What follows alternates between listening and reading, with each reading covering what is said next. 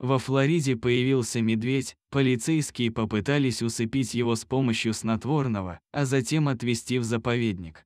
Однако все пошло не по плану. Обычно полицейские выстреливают в заблудившееся животное дозой снотворного, а затем увозят в заповедник.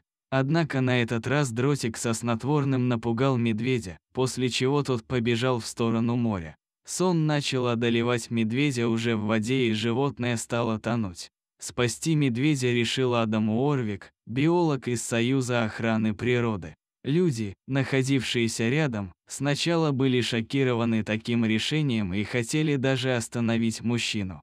Решение было принято мгновенно. Когда я увидел совершенно беспомощного тонущего медведя, у меня адреналин выбросился в кровь, говорит Адам. Отметим, что медведь мог сильно покалечить своего спасителя. Сначала он пытался взобраться на Адама для того, чтобы выбраться из воды, но настолько обессилел, что едва мог шевелить лапами. Медведю было трудно держать голову над водой.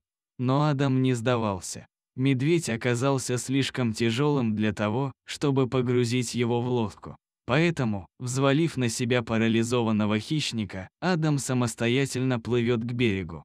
Казалось, прошла целая вечность перед тем, как они вышли из воды. Все свидетели случившегося были шокированы тем, как Адам смог протащить почти 200-килограммового медведя 20 метров до берега. Затем уже на помощь обоим уставшим пловцам подоспели другие спасатели. При помощи экскаватора ослабевшего медведя погрузили в машину и доставили обратно в заповедник Асциола. Если вам понравился ролик, то не забудьте поставить лайк и подписаться на наш канал. У нас много интересных видео о животных. До свидания.